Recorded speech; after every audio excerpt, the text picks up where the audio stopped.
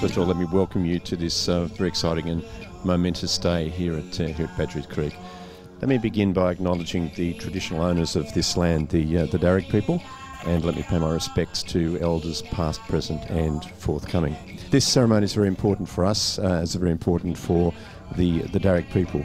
Today is a, a day when um, we're going to ward off the, the spirits who may uh, impair our development of this, uh, this wonderful, wonderful project.